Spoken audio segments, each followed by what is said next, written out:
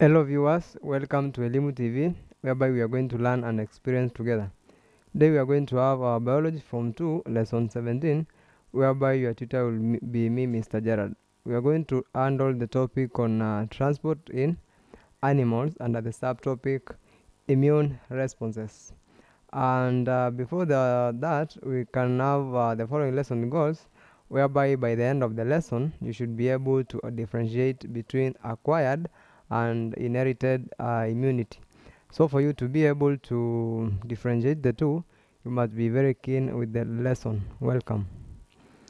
We are first going to uh, introduce to do some uh, do something on the introduction of the immune responses, whereby uh, immune responses are reactions that involve production of antibodies by the lymphocytes due to the presence of antigens in the body. An antigen is a substance that is foreign to the body and provokes the body's immune system to produce antibodies. Uh, these antigens can be uh, can either be pathogenic micro pathogenic microorganisms, whereby they are toxins or uh, their molecules um, they are not needed in the body. Antibodies are proteins produced by the lymphocytes in response to the presence of an antigen in the body. So that is to mean the two try to fight uh, each other in the body. That is um, the the foreign material which is the, the antigen and also the uh, the antibody whereby the function of the antibody is to um, protect the body against any foreign infection um, the antibody's chemical composition is complementary to the antigen against which it reacts therefore specific antibodies are released in, in response to specific antigens rendering the antigens harmless this is how lymphocytes protect the body against infection during immune responses, the body also increases the production of phagocytes that um, enhances the, uh, the fight against pathogens by phagocytosis. Now we can um, that is an, uh, an, an a representation of how our immune responses um, react in the body because we have said that when a foreign um, a foreign uh, organism either which is in this case we are calling it as the, the antigen gets the body the body reacts by producing antibodies to go and fight against the um, the antigen. Now we are going now to because now the body has got its own immunity we are going to look at something um, on immunity of the body whereby uh, we can see that immunity this is the ability of an animal to resist infection or counter the effects of toxins produced by the antigens. Remember, we have said that these uh, antigens are foreign materials uh, in the body, so they uh, they produce toxins which are not required by the body. Um, that is to mean if they are left unattended to, they will cause diseases. There are two types of immunity in the human body. One type of immunity we call it uh, inherited immunity and we have what we call uh, acquired immunity. So the two types of immunity we've said that it is the inherited immunity and also the acquired immunity.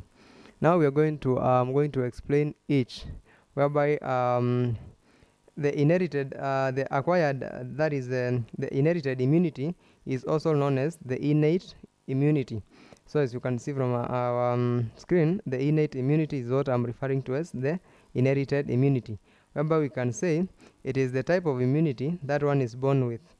It is passed on from parent to offspring, and uh, this form of immunity is non specific as it offers protection from many types of antigens.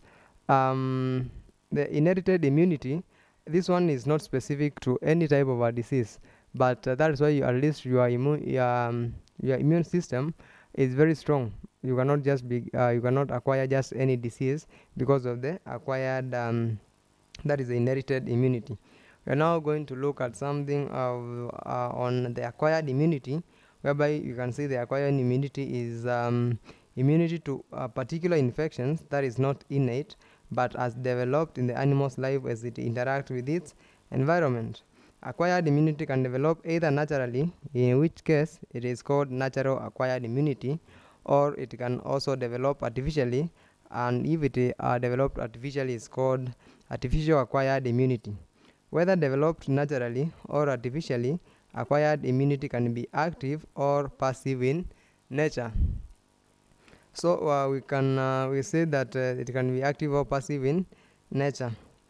Active immunity is the form of acquired immunity in which the body produces its own antibodies against infection, um, while passive immunity is a form of acquired immunity in which an individual is protected against infection by receiving antibodies. As the term passive suggests, the body is not stimulated to release antibodies of its own of its own. Now we can look uh, something on uh, the natural acquired immunity.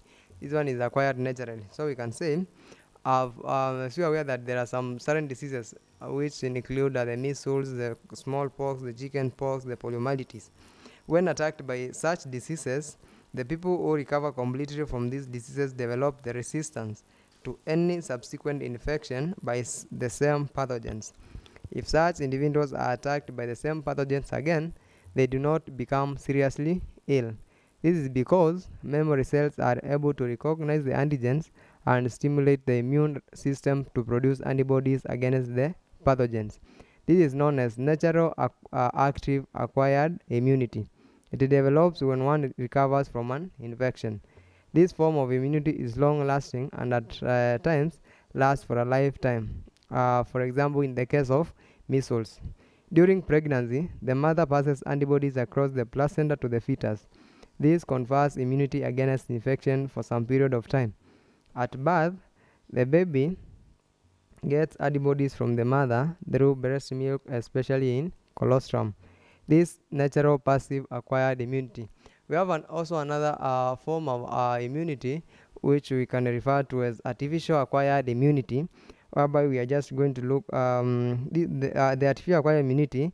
It is developed by vaccination. Remember, uh, once a child is uh, born, it is advisable that uh, you take the child for vaccination. So that that type of in, um, immunity is known as artificial acquired immunity. Having uh, said and done that, we can have uh, the following activity whereby you are required to differentiate between natural acquired immunity and artificial acquired immunity. For more information on this lesson, you can refer to KLB Secondary Biology Students Book 1, which is the fourth edition Nairobi Kenya Literature Bureau.